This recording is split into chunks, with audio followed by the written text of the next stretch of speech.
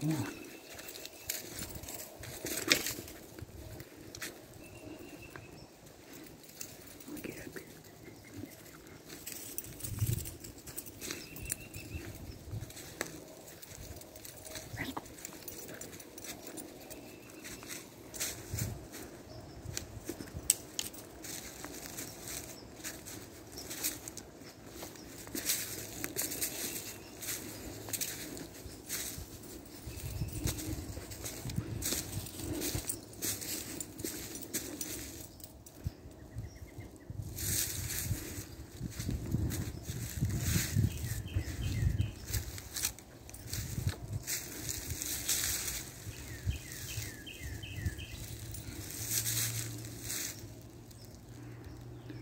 We are in the presence of a Sasquatch.